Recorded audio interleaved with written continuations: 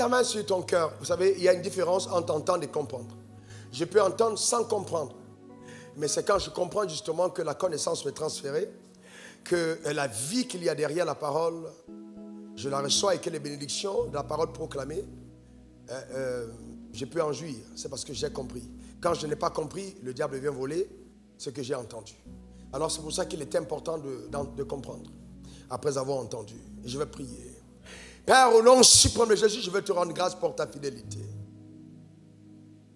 Merci pour ce dimanche, eh bien, le dernier de l'année 2020. Je te loue pour les personnes ici représentées. Et pour toutes les personnes qui sur la terre, au Canada, en Suède, au Ghana, au Tchad, au Gabon, en République centrafricaine, en Guyane, en Guadeloupe, en Martinique, en Belgique, au Congo, au Cameroun. Éternel, nous écoutent, sont connectés. Et veulent entendre le ciel parler, veulent vivre. Éternel, une expérience nouvelle avec toi. Père, je prie que tu donnes à toutes ces personnes, par ton esprit, de saisir la profondeur éternelle de la vérité. Par ton esprit, au nom suprême de Jésus. Et comme de coutume, accompagne ta parole de signes, de prodiges et de miracles. Merci, éternel, pour le déploiement de ta force au travers de ta parole. Merci pour l'onction éternelle qui m'habite, qui me réveille et qui me permet ainsi d'apporter le ministère sans reproche et sans blâme. Au nom suprême de Jésus, j'ai prié. Quelqu'un dise Amen trois fois. Amen, Amen, Amen. Tu peux t'asseoir dans sa glorieuse présence. Que Dieu te bénisse très abondamment. Amen, amen, amen, amen, amen. Gloire à Dieu. Alléluia. Mhm. Le thème du message d'aujourd'hui, je dis, je ne vais pas être long. Le mystère derrière la parole. Le mystère derrière la parole. On aura le temps de revenir en janvier. Le mystère derrière la parole. C'est-à-dire, derrière la parole, il y a quelque chose de caché. Quelque chose de voilé. Que j'essaierai de dévoiler en enseignant tout à l'heure, afin que chacun d'entre nous comprenne ce qui se passe quand nous écoutons l'évangile quand nous sommes en contact avec la parole, qu'est-ce qui se passe vraiment? Et que représentent les instruments que Dieu se choisit pour apporter la parole? Quelle attitude avoir vis-à-vis de ces instruments-là? Comment justement recevoir une parole et coopérer avec elle afin de déclencher l'action angélique dans ma vie personnelle et que ce qu'on appelle le miracle soit mon quotidien ou mon vécu dans une saison particulière? Autant des questions auxquelles j'essaierai d'apporter une réponse en très peu de temps. Ce message va embellir ta vie. Ce message va vraiment t'aider à davantage avoir la foi vis-à-vis de la parole. Il est écrit dans Matthieu 4, verset 4, et l'homme ne vivra pas de pain seulement, mais de toute parole qui sort de la bouche de Dieu. C'est-à-dire que l'homme est un être tridimensionnel. L'homme est un esprit, a une âme et vivant dans un corps. Et pour entretenir ton corps, pour être en bonne santé physiquement, il est indispensable de manger. Et c'est ce que Jésus appelle du pain, la nourriture physique. Cependant, il dit, l'homme ne vivra pas que de pain seulement, mais aussi de toute parole qui sortira de la bouche de Dieu. En d'autres termes, il met ici un point important sur cette déclaration disant qu'il y a de la vie dans la parole. Oui, Jésus a dit, les paroles que je vous ai dites sont esprit et vie. Derrière la parole, il y a l'esprit, mais il y a aussi la vie. Donc la parole de Dieu est capable d'embellir ton existence et changer le décor de ta vie. Oui, parce qu'elle détient la vie, la parole de Dieu. Cependant, quand nous parlons de la vie dans la parole de Dieu, ce n'est pas le logos. Parce que cette même parole, vous arrivez chez les francs plombiers, chez certains féticheurs. C'est avec la Bible qu'on vous initie à certains rituels. On vous dit c'est la parole de Dieu. Mais non, cette parole écrite là, ce n'est pas elle qui contient la vie, c'est le logos. Elle peut même être utilisée pour entendre la mort. Quand Jésus dit, l'homme ne vivra pas de pain seulement, mais de toute parole qui sort de la bouche il parle de la bouche et non du livre. Donc, il faut bien faire la différence entre la parole de la bouche et la parole du livre. La parole du livre, c'est le logos. La parole de la bouche, c'est le rhéma. Le rhéma, c'est la dimension révélée, le dévoilement, l'exposition des choses cachées, des mystères qu'englobe la parole. Et ça, c'est la bouche de Dieu qui le révèle. C'est très important qu'on le comprenne. Voyez-vous, et la vraie valeur d'un homme ou d'une femme n'est pas déterminée par ses avoirs. Souvent, une personne pauvre va se vanter d'être riche d'argent. Mais en fait, cette vantardise extrême, basée sur le matériel, est une exaltation de la pauvreté cachée. Car ta vraie valeur n'est pas déterminée par tes avoirs, mais d'abord par ton être, ce que tu es. Et ce qui te façonne à l'intérieur, c'est la parole. Les valeurs que tu incarnes, ce que tu es vraiment. Il y a des gens, mais voyez-vous, qui vous mettent plein la figure, vous ça me fait croire qu'ils possèdent des choses alors qu'ils n'ont rien du tout. Voyez quelqu'un qui a peut-être un salaire de 10 millions de francs CFA par mois et il se vante d'être riche. Il ne fait que commencer la vie. La richesse, ce n'est pas l'argent qu'on possède. C'est ce qu'on est et c'est ce que la parole de Dieu est capable de produire à l'intérieur. En fait, quand tu as la parole à l'intérieur de toi, même quand les circonstances autour de toi semblent être défavorables, la parole a la capacité d'amener dans ta vie ce que tu désires. C'est elle la clé réelle du bonheur, la parole de Dieu. Vous n'avez pas vu les multimilliardaires qui sont morts, ou qui divorcent, ou qui sont tombés par leurs femmes, qui sont haïs par leurs enfants Frères et sœurs, la vraie valeur de l'homme, c'est la parole de Dieu. C'est la parole de Dieu. Et donc il est important de mettre l'accent sur la parole. Cependant, écoute-moi attentivement, je peux aller à l'église et ne pas recevoir la parole de Dieu. Parce que l'église où je vais, il n'y a pas la bouche de Dieu dans cet endroit. Il dit, l'homme ne vivra pas de pain seulement, mais de toute parole qui sort de la bouche de Dieu. Tout le monde qui parle de la part de Dieu n'est pas une bouche de Dieu.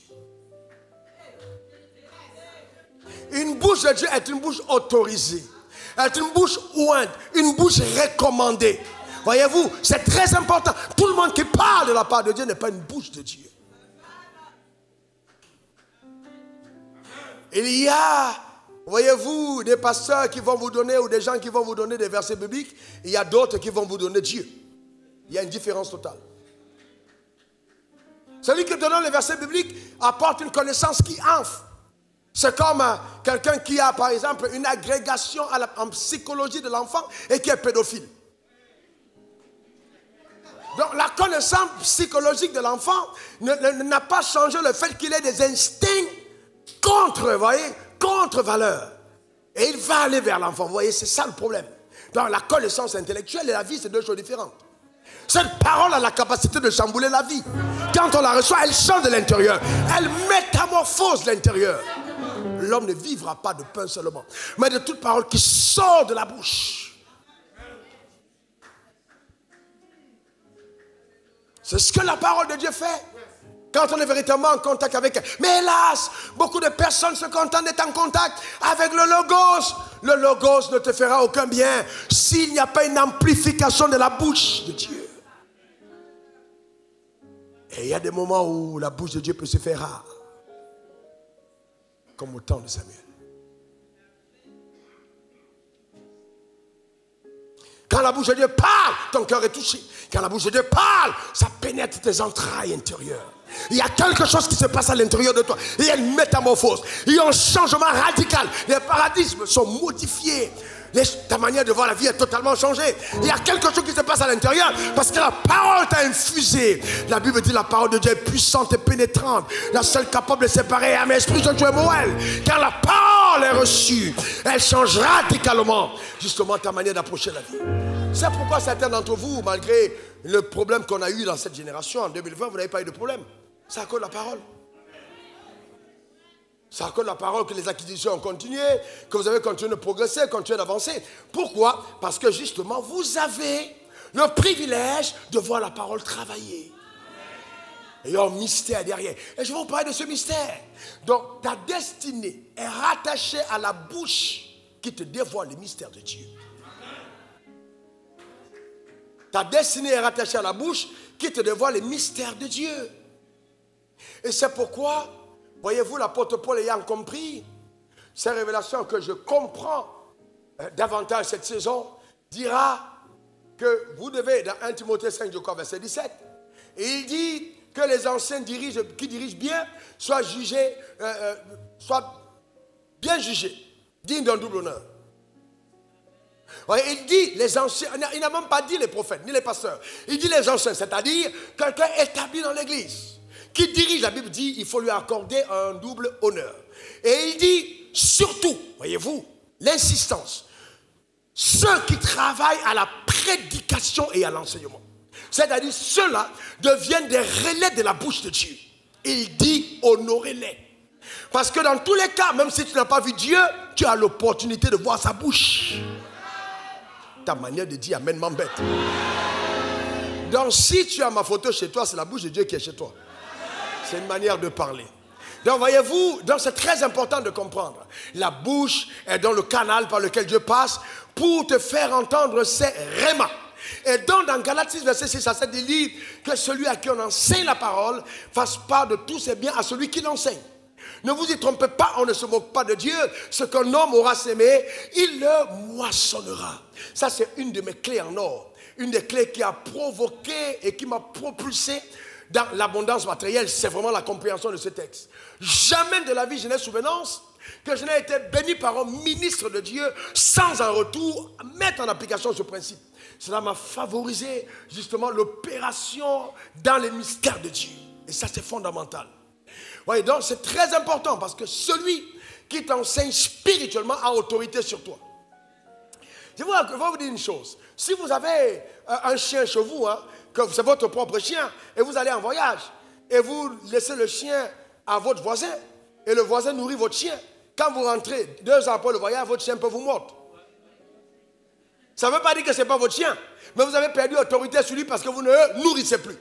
Celui qui nourrit a autorité sur. Et ensuite, écoutez-moi attentivement, selon Dieu, celui qui nourrit est l'autel de Dieu. C'est-à-dire, à partir du moment où la bouche de Dieu s'adresse à toi, l'autel est dressé. Dans l'Ancien Testament, les hommes bâtissaient les autels quand il y avait apparition de Dieu. Et cette apparition symbolisait une rencontre. Et quand il y avait problème, il courait à l'autel et Dieu intervenait. Donc, bien que ce soit l'ombre des choses à venir, ces principes de Dieu restent immuables dans le temps. C'est très important de comprendre. Et voyez, et donc ne le comprenant pas, certaines personnes passent à côté de ce que Dieu veut faire pour elles. Et vous entendez des allusions assez puériles, enfantines. Déjà, je ne comprends pas pourquoi est-ce que hein, il le déifie. Ce n'est pas une déification. C'est honorer et respecter. Vous savez, le mot honneur est en voie de disparition. Parce que le diable est en train de détruire tous les canaux par lesquels la bénédiction passe. Les enfants sont rebelles vis-à-vis de leurs parents. Ils ne respectent plus. Oui, moi je m'en fous. Non, l'honneur est important. Pourquoi honorer ton père? Parce que la mère, c'est la première qui t'a fait téter et qui t'a nourri. Toutes les personnes qui t'ont nourri méritent ton honneur. C'est écrit dans la Bible. C'est le premier et le seul commandement. Frère, c'est important. Honorer. Voyez-vous, euh, euh, euh, et j'entends des gens, oui, vraiment, euh, c'est moi, c'est moi qui t'aime, non, Seigneur, je suis ton Père spirituel. Frère, laissez-moi vous dire ceci, Jésus vous a tous affranchis et moi avec. On n'est plus, plus amené à être esclave de qui que ce soit.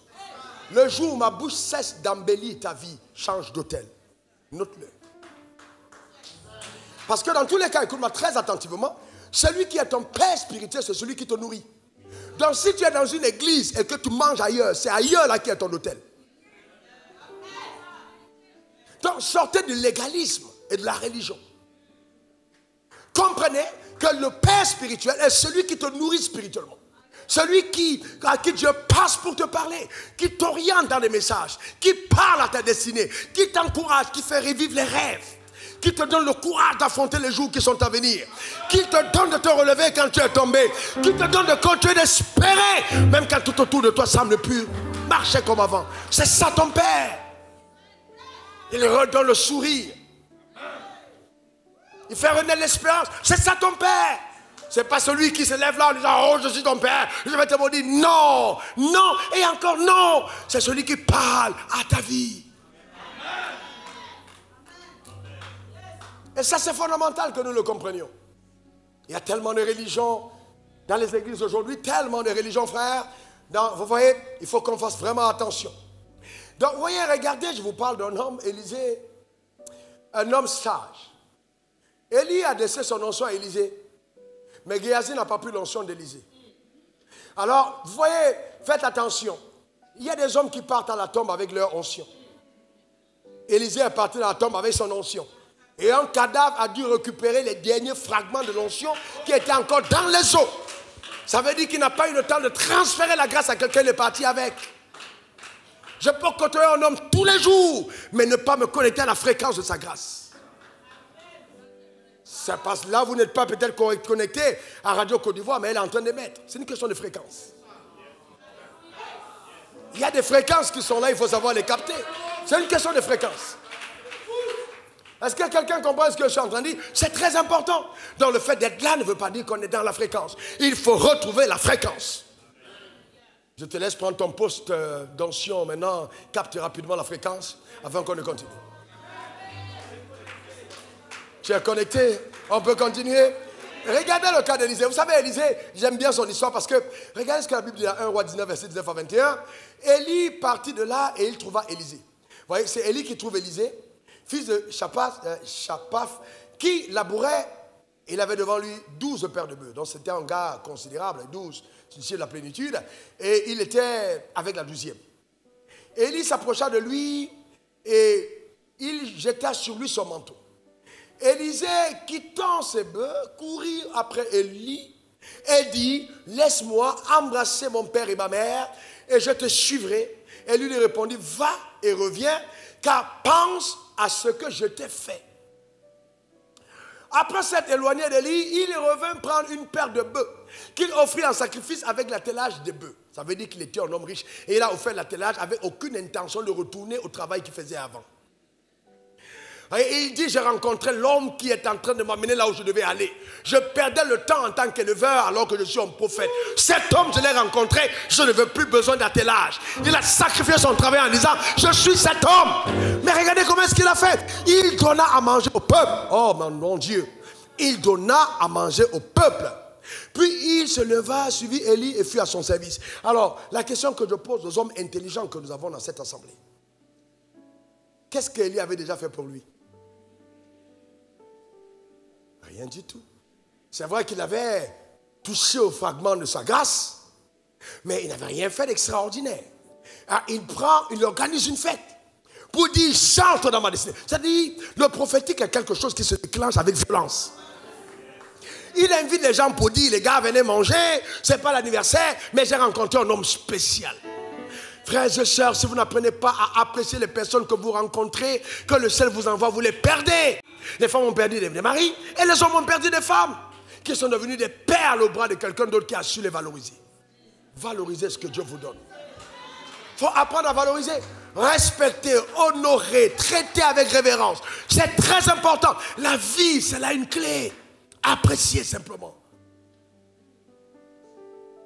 L'un des collaborateurs les plus productifs de ce ministère, Noël Kofi m'a été donné par un homme de Dieu qui considérait que c'était peut-être un des moindres de ses ouvriers.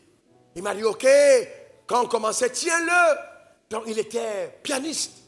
Mais quand j'ai vu le cœur du jeune homme, même, si son aptitude au piano n'était pas vraiment ça, j'ai détecté en lui un collaborateur de destinée. Et donc, au fur, avec le temps, il a migré dans d'autres responsabilités. Et il est devenu une cheville ouvrière de ce ministère de façon solide. C'est incroyable. Je voyage avec lui, on est allé en Europe, on est revenu. Il n'a pas, son passeport était entre ses mains, il n'a pas jugé important de fuir. Il est revenu parce qu'il a compris que sa destinée n'est pas en train de, de, se balader en Europe. Non, il sait que sa destinée est rattachée à l'autel, à la parole qu'il entend. Et qu'il ne deviendra pas quelqu'un parce qu'il a migré, parce qu'il est allé à un autre territoire, mais parce qu'il est entré dans une autre dimension de la compréhension de la vie. C'est ce que vous voyez, c'est très important qu'on arrive à ce niveau de la vie. Et vous voyez, pourquoi vous devez honorer de telles personnes? Parce que ce sont des personnes qui sont déclencheurs de l'action angélique. Que quelqu'un dise angélique. Quelqu'un dise encore angélique. Un pasteur qui était malade pendant 14 ans, très très malade, est venu nous voir, il était assis de ce côté, et il a demandé à témoigner avec tellement d'empressement. Vous savez, nos cultes sont tellement, tellement, tellement précis. Mais j'ai ressenti par l'Esprit ce jour qu'il fallait que cet homme parle. Il est venu parler, il a dit comment il était malade, il souffrait. Il devait partir aux États-Unis, continuer sa vie, mais il n'a pas pu partir parce qu'il était malade. Mais il m'a écouté une nuit, et la même nuit, il a rêvé. Je suis arrivé dans sa chambre. Il était dans un trou. J'ai dit, donne-moi ta main. Qu'est-ce que tu fais là? Il a tenu ma main et il est sorti du trou. Et quand il est sorti, c'était de samedi à dimanche. Dimanche, il était guéri spectaculairement. Il est venu témoigner. Mais qu'est-ce qui s'est passé? Le surnaturel. Quelqu'un dit surnaturel. Je vais te dire simplement, en très calmement, que ce qui était enterré, ce qui était dans le trou, ça ressort. Je dis bien, ce qui était dans le trou, rattaché à ta vie, ça ressort maintenant au nom suprême de Jésus. Je n'étais pas au courant de cette information. Je ne savais pas ce que ce gars a traversé, mais il a été en contact avec la parole et les anges ont agi. Je vais vous montrer pourquoi ils ont agi. Voici euh, l'apôtre Élise qui vient du Cameroun, la mère de Co que vous connaissez tous. Et donc, elle est venue et elle est, elle à la maison. Et je me suis rendu compte qu'un jour, j'ai dit, mais ça va ton pied Elle me dit, ouais, c'est la vieillesse. Donc, ça va. Donc, c'est une femme de foi, donc elle ne parle pas elle n'amplifie pas les mots qu'elle vit. Et donc, un jour, je me rappelle, je me rappelle bien ce jour. Et j'ai déclaré, j'ai dit, Moïse avait 120 ans et aucun de ses membres n'avait été usé. Donc, elle a dit qu'elle a saisi la parole quand je relâchais. Elle a su que Dieu parlait. Dès qu'elle a saisi la parole, le mal a disparu. Un mal qu'elle a depuis plus de 10 ans. Disparu sans imposition de main je déclare, je décrète et j'établis sur ta vie que quelque chose de particulier est sur le point d'être arrivé en cette saison. Au nom suprême de Jésus. Donne-moi ton meilleur Amen. Francis, viens, viens, viens, Francis, viens. Regardez encore, je vous donne juste des témoignages pour montrer. Il est venu avec un de ses amis dont les affaires étaient bloquées. C'est un chef d'entreprise prospère. Ça va, mon fils? J'aime ton affaire. Amen, tu as un bon témoignage. Alors, il, il est venu avec son ami musulman. Et son ami était malade, il avait un mal au cou. Il est parti partout, il n'y avait pas de solution. Il s'est mis dans mon bureau. Un. Il s'est assis. Je dis, tu crois qu'il peut être guéri Oui, bon, il a mal. Bon, il dit oui. Est-ce que Jésus peut te faire? Oui. Il dit, il a mal. vous voyez, il, veut être, il va être guéri. J'ai pris l'huile d'onction, j'ai posé sur la bosse, comme si on était en train de rigoler. Et je lui ai dit, tu es guéri au nom de Jésus. Et je lui ai dit, la personne qui te voulait du mal va mourir à ta place. Je n'ai pas crié. Non, je n'ai pas crié. J'ai parlé. Moins de deux, deux jours après, c'est deux jours, trois jours. Troisième jour, son oncle qui était derrière le mal est mort. Et l'a appelé à confesser et il est mort après. Et deux semaines plus tard, les affaires qui étaient bloquées, le gars repartait au Japon ou en Chine pour commencer à faire ses affaires. Voilà ce que le Dieu est capable de faire. Amen. Ah, on rend grâce à Dieu pour sa fidélité. Maintenant, ok. Alors je vais vous montrer la clé derrière ça. Parce que vous aussi, certains d'entre vous, appelés par Dieu, allez déclencher de tels mouvements. Je vais vous montrer comment ça se passe. C'est simple. Somme 103, verset 20. Il est écrit Bénissez l'Éternel, vous ses anges, qui êtes puissants en force et qui exécutez ses ordres en obéissant à la. À la quoi? À la voix. On n'a pas dit à la parole, mais à la voix de la parole. Maintenant, je te pose une question. Qu'est-ce que tu entends?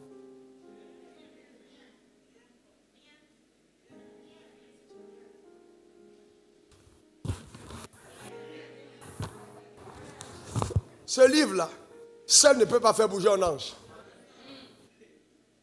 C'est pas possible. Il est, gros, tu le mets sous ton oreiller, les démons viennent, ils te, ils te cassent le cou. Il n'y a, rien de. Ce n'est pas une affaire de ce livre. Il faut, il faut qu'il y ait une voix qui donne à ce livre une légitimité. Qu'il y ait une voix qui parle. Et c'est cette voix-là qui donne aux anges d'agir. Et c'est pourquoi quand Dieu choisit une bouche pour te parler, elle devient la bouche de Dieu pour ta vie et le canalisateur du mouvement angélique sur ta destinée. Que quelqu'un me donne son meilleur Amen. Il reste encore quatre jours avant la fin d'année. Je dis simplement sur ta vie que tu témoigneras avant la fin. Au nom suprême de Jésus. Donne-moi ton meilleur Amen. Ce n'est est ton partage et ta portion. Alléluia. Dieu est extraordinaire. Et donc ici, à cet endroit, se tient l'ange de la guérison. Dans cet endroit se tient l'ange de la guérison. Une dame, un enfant était malade de cancer. Elle est venue ici. Elle dit, si Dieu est ici, elle a fait un vœu que mon enfant soit guéri. Il était à Dallas. Il a été guéri sans imposition de main. Le cancer a disparu. Que cet ange agisse en ta faveur. Au nom suprême de Jésus. Donne-moi le meilleur des amens. Et sur cet euh, hôtel se trouve aussi l'ange qui te ramène sur le territoire de ta destinée. C'est-à-dire que dans cet endroit, vous allez demander à tout le monde, vous êtes tous témoins, quand tu es dans cet endroit, tu retrouves le sens de ta vie. Même si tu avais exité et que tu étais loin de ton highway, de ton autoroute, la main de Dieu te ramène dans le couloir de ta destinée et te donne de vivre ce que Dieu t'a réservé. Que cela soit ton partage au nom suprême de Jésus. Viens ma soeur, viens, viens, viens. Ton sycomore, comme tu aimes m'appeler, t'appelle. Viens.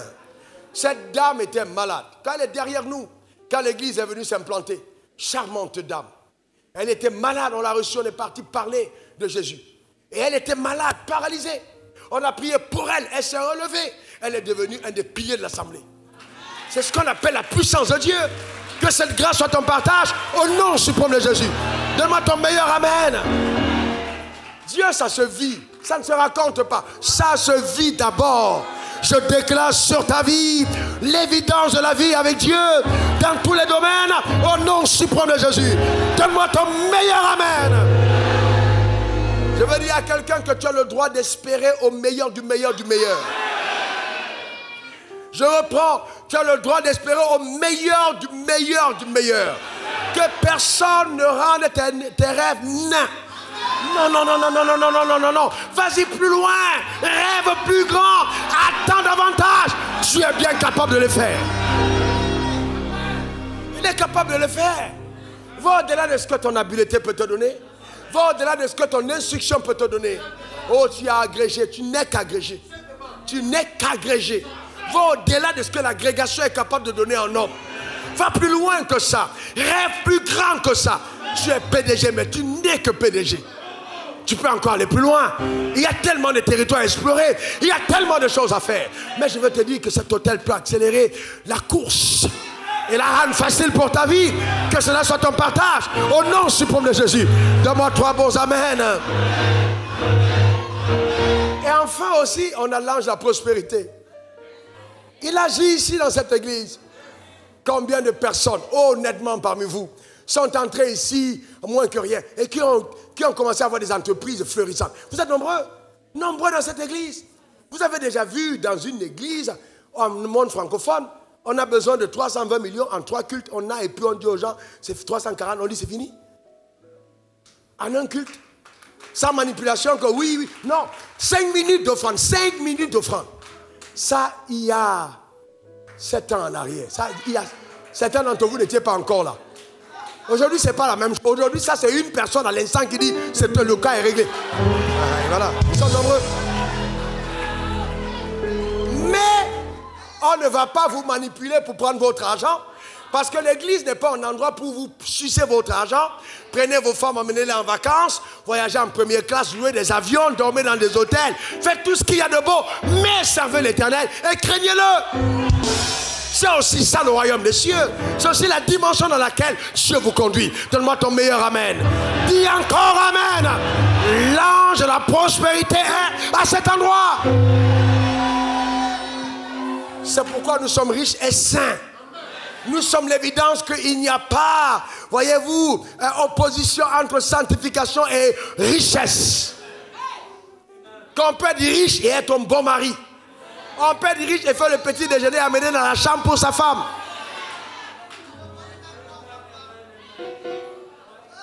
On peut être riche. Et puis, être à l'aise avec ses, ses collaborateurs qui travaillent pour vous sans crier, sans non, sans chialer, non. Mais nous vivons le royaume. Que cela soit ton partage, que cela soit ta portion. Au nom suprême de Jésus. Un pasteur à Yamsoukro, plus âgé que moi de moins de 10 ans, vient me voir, il était en train de prier. Ça arrivait plusieurs fois, mais son cas était tellement touchant. Et parce que j'ai refusé de prendre son offrande, il dit, j'étais en train de prier et puis je demandais à Dieu de bénir mon ministère, d'accorder la possibilité. Dieu lui a dit, je ne peux pas t'exaucer. Va voir, j'ai mon serviteur à Ouafo Abidjan, va, il prie pour lui, apporte-lui tel montant. Il ne me connaissait pas, il a commencé à se renseigner. On dit, ah, tu ne connais pas il est venu me voir. J'ai refusé son offrande, mais quelques temps après, convaincu par l'Esprit, j'ai prié pour lui, larmes aux yeux. Dès qu'il est reparti à l'église, les choses ont changé radicalement. Il n'avait jamais reçu, pasteur, 100 000 francs de son offrande de quelqu'un. Il est rentré à l'église. Le prochain culte, quelqu'un lui a donné un million. Qu'est-ce qui s'est passé? Il a touché quelque chose surnaturelle. Un ange a intervenu. J'ai dit, un ange a intervenu. Frères et sœurs, vous devez croire à l'action angélique.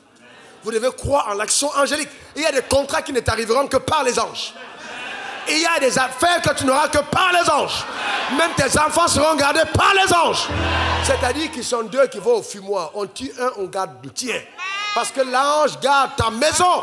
Il veille sur tes enfants. C'est votre foi. C'est la nôtre. On a une alliance. Dis j'ai une alliance. Dis encore j'ai une alliance. Et vous devez comprendre qu'il y a des gens quand ils prêchent, leur prédication ce sont des prophéties. J'étais à, à, à, à la Riviera et je m'arrête un moment, je, fais, viens comme je viens de dire à Angester. Je dis, euh, une, une, dame ici, ton enfant est parti de la maison depuis longtemps et il revient. Et, la dame s'est levée, elle a dit, ah mais elle a couru vers l'hôtel. Mais c'était notre église, un ami. Et puis elle est revenue en témoignage le lendemain jusqu'à un séminaire. Elle est rentrée à la maison. L'enfant est fugué depuis des années. Elle a trouvé l'enfant à la porte. L'enfant attendait à la porte tremblant. Qu'est-ce qui a ramené l'enfant? C'est un ange. Quand la parole a été lâchée, L'ange été. Une autre femme appelle ici, on était encore en bas. Mon mari est parti, j'ai dit, il s'appelle comment? Il est parti, il s'appelle. Je dis, mais attends, hé, toi là, monsieur, comment tu... Oh, Jean-Baptiste, tu fais quoi là? Tu as quitté ta femme? La Bible dit, l'homme quittera son père et sa mère s'attachera. Jean-Baptiste, reviens à la maison vite. Il était en Belgique. Jean-Baptiste est rentré le soir. La femme m'appelle pour demander. Après, elle dit, pasteur Jean-Baptiste est rentré. On fait comment Je dis, hé, il est rentré, c'est entre vous deux. Ne m'appelle plus dedans. Vous demandez qu'est-ce qu'on fait. Tu as demandé ton mari, maintenant tu demandes qu'est-ce qu'on fait. C'est ton mari. Ne mettez pas vos maris en parlant avec vos pasteurs. Respectez vos maris plus que moi. C'est ton mari. Tu n'as pas à me demander. Pasteur, pasteur, mon mari va aller après moi. Est-ce que je peux aller ce soir? Sorcellerie.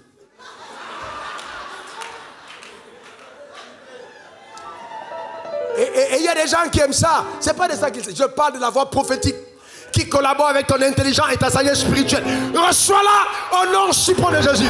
Donne-moi le meilleur des Amen. Quand tu dis Amen, ce que je dis t'arrive. C'est ton partage de ta portion. Dis encore Amen. C'est pour ça qu'il est écrit dans Matthieu 10, verset 41 à 42, celui qui reçoit un, celui qui reçoit un prophète en qualité. Notez bien, en qualité, soulignez-le, de prophète. Ça veut dire que je peux recevoir un prophète en qualité d'ami. Je peux recevoir un prophète en qualité d'oncle. Je peux recevoir un prophète en qualité de compatriote. Je peux recevoir un prophète en qualité de collègue. Mais pas en qualité de prophète. En qualité de prophète, c'est la révérence pour la grâce qu'il transporte. La conscience du mandat, de l'onction qui est rattachée à sa fonction. Et donc, si j'honore l'onction rattachée à la fonction, et je traite dignement, sans tenir compte de la personne qui apparaît, mais de ce qu'elle incarne et représente. Alors la récompense de ce prophète m'est accordée. Et quelle est cette récompense du prophète? La récompense du prophète, ce sont les anges qui sont affectés à son service. Nous sommes tous pasteurs, mais on n'a pas tous les mêmes anges. On se connaît, on n'a pas les mêmes anges.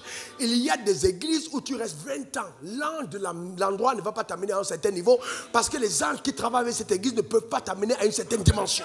Il faut certaines autres transactions. Et c'est pourquoi Dieu va recréer des reconnexions. Parce que Élisée était au service et il était déjà quelqu'un qui connaissait Dieu. Mais il ne pouvait pas aller loin tant qu'il n'a pas rencontré Élie il y a des rencontres surnaturelles qui vont créer un chamboulement, qui vont t'amener à un autre niveau, à une autre dimension de ta vie. Dieu l'orchestre pour ton bien. Va pas dire non, vraiment, c'est lui qui m'a baptisé. On s'en fout, t'as baptisé, c'est fini. La vie doit continuer, frère. La vie, c'est un mouvement. Quelqu'un dise Amen. je suis sérieux, très sérieux, et ça peut me concerner moi aussi. Personne n'exemple de cela. Donc il est important qu'on collabore avec la fréquence de Dieu. Comprendre ce que Dieu est en train de faire. Donc il dit celui qui donne un verre d'eau, verset 42, à froide à l'un de ses petits, parce qu'il est mon disciple, je vous le dis en vérité, il ne perdra pas sa récompense. Mais ce que tu donnes à un disciple et ce que tu donnes à un prophète, ce n'est pas la même récompense. Je suis désolé. Il y a des gens qui disent, oui, je comprends, moi, moi, le social, c'est bon. Mais aucun orphelin n'a d'ange qui travaille pour lui, pour toi. Dieu va veiller sur ta parole pour te bénir. Mais il y a des déclenchements prophétiques qui n'ont lieu que quand tu comprends l'importance d'honorer la bouche qui parle sur ta vie. C'est elle qui te donnera la force d'aller à l'orphelinat, la force d'aller dans les hôpitaux, la force d'aller à tel endroit, la force d'aller ici. il ne faut pas penser qu'on est plus sage que Dieu, non. Il faut respecter les lois établies par Dieu. Regardez le cas d'Abraham. Abraham a chez lui la visite de trois anges. À Genèse 18, verset 2 à 3. La Bible dit, il leva les yeux, regarda, voici trois hommes étaient debout près de lui. Quand il les vit, il courut au-devant d'eux depuis l'entrée de sa tente et se procéda en terre. Il a vu combien de personnes? Il a vu combien de personnes? Il a vu combien de personnes? Trois personnes. Verse, ok Et il dit, Seigneur, si as trouvé grâce à tes yeux, ne passe pas, je te prie, loin de ton serviteur. Je prends le temps de développer euh, justement ce verset. Allons-y au verset 9. Verset 9. Alors, il lui dit, où est Sarah ta femme? Les trois disent, où est Sarah ta femme? Il répondit, elle est là dans la tente. L'un d'entre eux, les trois ont demandé la femme, l'un d'entre eux dit, je reviendrai vers toi à cette même époque. Ok? Et voici, Sarah, ta femme, aura un fils. Sarah écoutait à l'entrée de la tente qui était derrière lui. Genèse 18, euh, verset 33. L'Éternel s'en alla lorsqu'il eut achevé de parler à Abraham, et Abraham retourna dans sa demeure. Regardez le verset 1 de Genèse 19. Les deux anges, les deux anges, où est le troisième? Les deux anges arrivaient à Sodome et l'autre était assis à la porte de Sodome. Donc Abraham a intercédé pour son frère et puis il avait un besoin de femme. Donc pour aller sauver Sodome, ils se sont répartis des tâches. Les deux ont dit on va à Sodome. Et l'autre a dit, comme c'est moi qui ai annoncé la nouvelle, je vous quitte, je monte au ciel. Il est parti chercher quoi? Isaac. Il est parti chercher qui? Isaac. Non, arrête, non, non, non, s'il vous plaît. Ne soyez pas simplement extasiés. Il allait chercher Isaac. Ma question que je te pose. Isaac a-t-il été créé ce jour-là où il écrivait, il, existait avant? Il existait avant. Mais qu'est-ce qu'il faisait là-haut?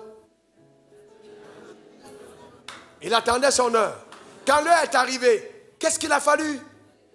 Un ange aille le récupérer. Il y a des choses qui peuvent être périmées au ciel parce que tu n'as pas provoqué le mouvement de l'ange. Il faut un ange qui monte et qui fasse descendre. Alors je lève ma main vers le ciel en vertu des pouvoirs que le ciel m'a souverainement conféré. Je décrète, déclare, établi sur ta vie. S'il y a quelque chose qui manque à ta vie en cette saison précise, que l'ange de l'éternel te l'apporte au nom suprême de Jésus. Quel que soit le lieu, quel que soit le pays, quel que soit l'endroit, que cette grâce soit communiquée au nom suprême de Jésus. Je prophétise une accélération particulière sur ta destinée au nom suprême de Jésus. Je parle et j'annonce que toutes les limitations qui ont été imposées par les forces occultes, les puissances sataniques sont renversées, sont brisées au nom suprême de Jésus. Et toute stérilité se transforme en productivité extrême par la puissance de Dieu au nom suprême de Jésus. Donne-moi trois bons Amen. Eh bien oui, dis c'est ma portion. Et c'est mon partage. Encore Une dernière fois Alors, asseyez-vous, asseyez-vous. Eh bien, je termine avec ça. Ah, eh qui de vous reconnaît qu'il y a des anges qui travaillent avec ma vie? Alors, je vais vous dire une chose. La beauté de ce travail, c'est quoi? C'est que quand l'ange travaille dans la vie de quelqu'un, vous pouvez transférer les anges. Si tu as des unités dans ton portable, ou dans ton portable, n'est-ce pas, moment et que je n'en ai pas, tu peux faire un transfert d'unité. Alors bien, je vais aussi t'enseigner une chose, tu peux transférer les anges. C'est-à-dire, quelqu'un peut avoir des anges à son service et moi, je n'en ai pas et j'ai besoin de servir de ces anges. Alors, en me connectant à sa vie, je transfère le mouvement des anges à son égard. C'est ainsi que la Bible parle du verre d'eau qui donne la récompense du prophète. Donc, les anges qui sont affectés au prophète se mettent à ton service. On appelle ça le transfert. Mais si vous n'êtes pas spirituel, vous ne comprenez pas ça. Il faut être spirituel pour comprendre. Et si vous n'avez pas atteint un certain niveau dans la vie, vous n'avez pas autant d'aisance pour parler autant de zèle, pour parler de telles vérités. Parce que les gens vont avoir l'impression que vous êtes en train de demander leur argent. Il y a des moments où toute l'offrande du mois de l'église mélangée pendant trois mois n'atteint pas la percée d'une semaine. Donc, je suis en train de dire aux gens, le monde spirituel est réel. Le monde spirituel est réel. Dieu est capable de faire de grandes choses. Et donc, tu as le droit de croire au surnaturel et de provoquer ce mouvement. Laissez-moi montrer quelque chose qu'on est en train de terminer. Regardez un peu le cas d'Élisée et Élie. Élisée honorait l'onction d'Élie. Regardez 2 Rois 2, verset 12 à 13. Élisée regardait et criait quand son père était en train de partir. Mon père, char d'Israël et sa cavalerie. Soulignez char d'Israël et sa cavalerie. Mais comment tu appelles ton père char? Char d'Israël et sa cavalerie. Il ne le vit plus, c'est ça alors ses vêtements, il le déchira en deux morceaux. Quand les gens voient ça, j'entends les gens dire Oh, je m'appelle le bombardier de l'évangile. Frère, quand on dit char et sa cavalerie, ce n'était pas les mots inventés à main de certaines personnes puériles dans le prophétique qui commencent à s'appeler n'importe comment. Il y a des gens qui s'appellent Meshach Abednego, alors qu'ils ne savent pas que ce sont des noms maudits. Je me suis le prochain Meshach. Il faut changer de nom. Il faut comprendre ce que ça veut dire. C'était des noms païens. Donc les gens ne comprennent pas le monde prophétique et ils commencent à s'attirer des malheurs. Après, quand le, Meshach va descendre dans ta vie, tu vas avoir des problèmes. Donc il faut changer totalement. Voyez-vous, je reviens. et, mon Dieu. 2 Roi 6, verset 16 à 17. Il répondit, ne crains point. Élie est attaqué un jour. Et puis les, les Syriens l'attaquent. Son serviteur tremble en disant, ah, nous sommes encerclés. Regardez ce qu'Élisée va dire. Ne crains point. Car ceux qui sont avec nous sont en plus grand nombre que ceux qui sont avec eux. Pourquoi est-ce qu'il le dit? Parce qu'il avait conscience qu'il y avait eu un transfert de cavalerie. Le char de son père lui était venu. Quand tu es dans un ministère et que l'heure est en train d'arriver pour partir, ne pars pas comme ça. Parce qu'en partant comme ça, la grâce que tu avais ne te suit pas. Quand on prie et qu'on te relâche, une partie de ce char se met à ton service parce que ton père a parlé. Prends le manteau avant de partir.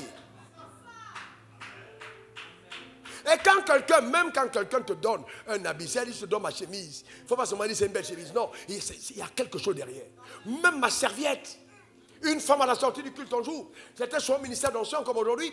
Ah, je parlais, je priais pour les gens. Viens, elle est venue et puis elle a pris ma main. Tape sur ton ventre, tape sur ton ventre. Non, ma main, ma main, tape ma main sur ton ventre. Arrête ma main. Et tire sur ton ventre. Elle a tiré. Et puis elle a dit Je reçois mon enfant. J'ai senti ma main vibrer sur son ventre. J'ai dit Ok, il s'est fait. Le mois prochain, elle était enceinte.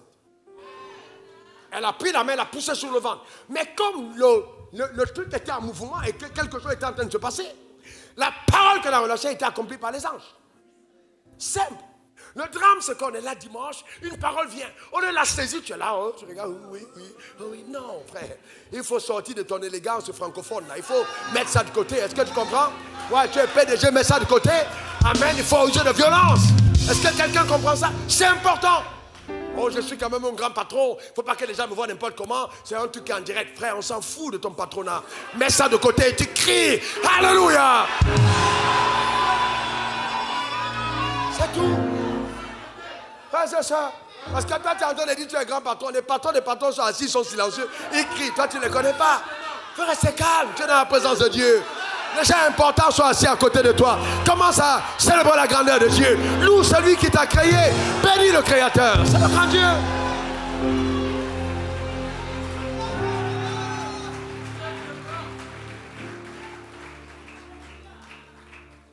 Élisée pria et dit Éternel, ouvre ses yeux pour qu'il voie. Et l'Éternel ouvrit les yeux du serviteur qui vit la montagne pleine de chevaux et de chars de feu autour d'Élysée. Alors ma prière, souvent je dis à mes gars, priez que Dieu vous montre qui est votre leader. Parce que tant que vos yeux n'ont pas été ouverts, vous risquez de passer à côté de beaucoup de choses. Que les yeux s'ouvrent. Voyez-vous, et plus tard, Dieu a fait entendre des bruits de ses chars dans le camp des Syriens. Les Syriens ont pris la fuite. Alors qu'Élisée n'a même pas combattu, frère, faites attention à un homme ouin. Les paroles sont capables de te faire fuir de te faire désarmer une base fortifiée à cause de la grâce de Dieu. C'est très important. Si nous prenons conscience de la puissance qui est en nous, du pouvoir divin que nous incarnons, frère, je vous garantis, on va plus vivre comme nous vivons. Non, non. Rien ne te fera peur. Rien du tout. Rien. J'entre dans une maison hantée, je n'ai pas besoin de la consacrer pour que les démons partent.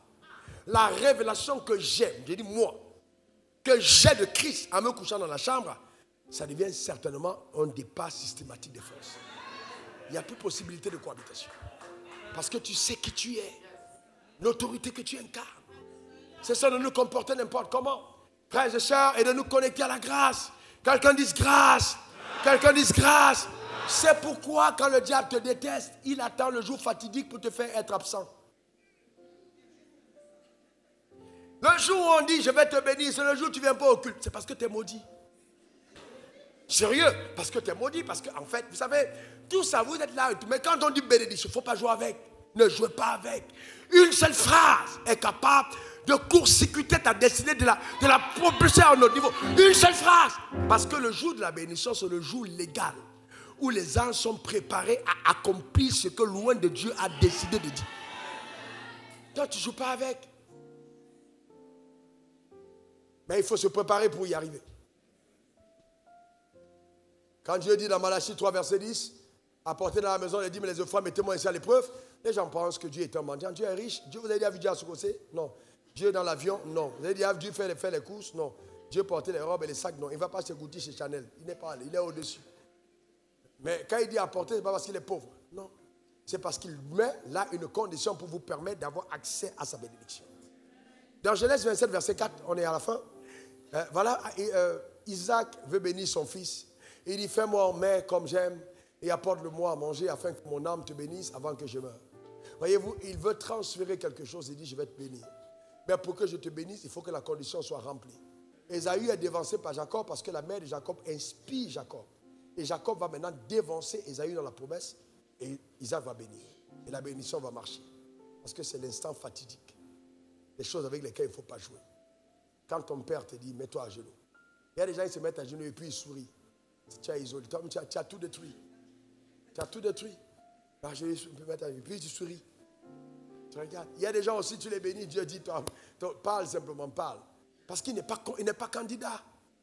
Quelqu'un qui a relâché des choses sur ta vie, tu vas à table, tu commences à parler, à le maudire. Mais les anges même sont capables de te dire, pour dire, toi Toi, tu ne sais même pas que si tu n'es pas mort dans l'accident, c'est parce qu'on est en train de dire des choses sur ta vie. Frères et sœurs, écoutez-moi très bien. Vous pouvez être chef d'État parce que vous avez gagné les élections, député parce que vous avez gagné les élections, ministre parce que vous avez été nommé, avocat parce que vous avez passé le concours, et pasteur. Parce que l'école biblique t'a donné un diplôme, prophète, parce que Dieu t'a appelé. C'est la différence. Donc, voyez-vous, c'est du ressort de la souveraineté divine. Donc, à partir de ce moment, frères et sœurs, nous faisons attention à notre conduite. Que Dieu bénisse pleinement ta vie. Alors, je voulais faire deux appels.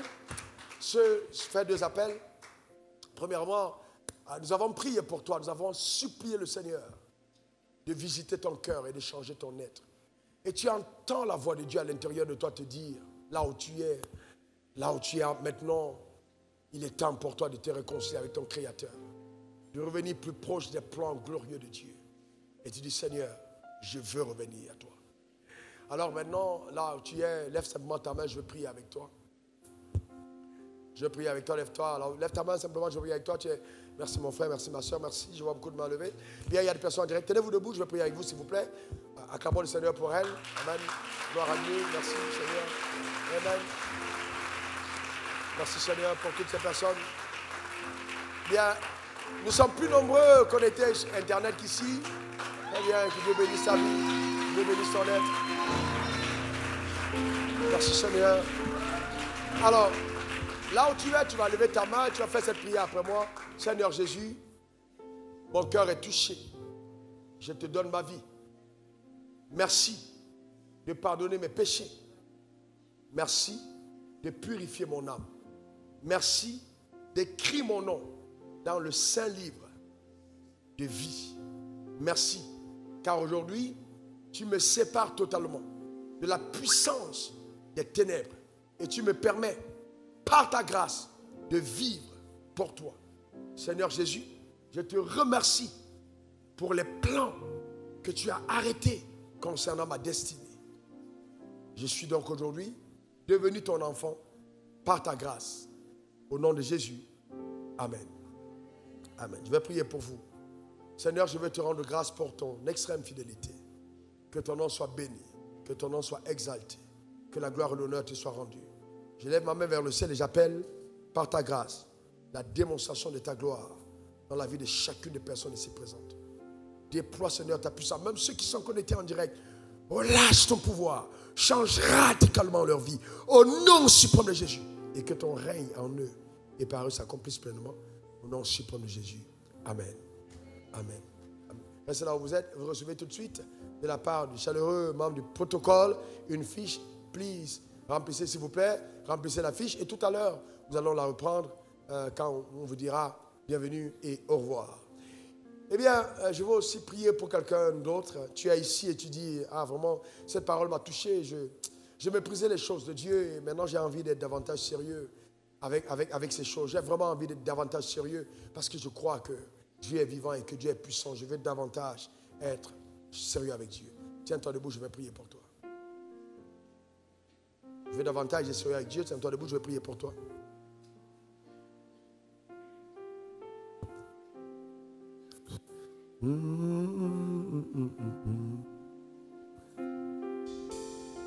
Merci Seigneur pour ton extrême fidélité. Que ton nom soit béni, que la gloire te soit rendue. Merci Seigneur pour ton œuvre glorieuse. Oh,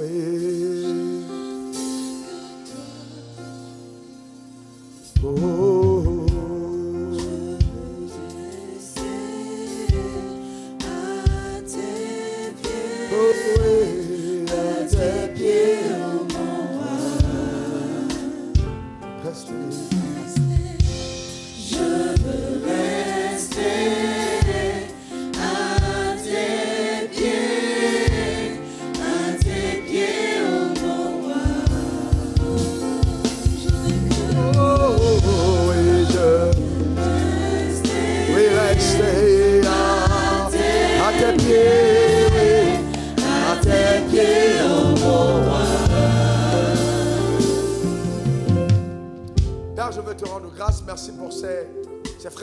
Ici et ailleurs.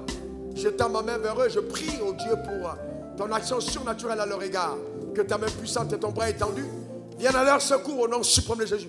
Qu'ils soient restaurés dans leur marche et que par ta puissance extraordinaire, ton règne en eux s'établisse par ta force au nom suprême de Jésus. Je déclare béni, comblé, éternel, restauré de l'intérieur par tes saints pouvoirs au nom suprême de Jésus.